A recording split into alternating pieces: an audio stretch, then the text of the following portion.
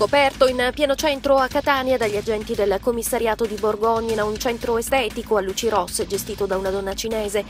Indagata in stato di libertà la titolare XH, queste le iniziali per i reati di sfruttamento della prostituzione, false attestazioni a pubblico ufficiale e impiego di lavoratori stranieri senza permesso di soggiorno. Il locale è stato sottoposto a sequestro penale preventivo. Circostanza, i poliziotti hanno anche proceduto al sequestro penale dei proventi derivanti dall'attività di prostituzione di quattro telefoni cellulari, le cui utenze telefoniche rimandavano a siti escort trans e altra documentazione attestante il collegamento del centro all'attività illegale di prostituzione identificati diversi clienti stranieri e italiani che hanno confermato di aver corrisposto una somma di denaro in cambio di massaggio con prestazione sessuale finale 50 euro per 60 minuti, 30 euro per 30 minuti.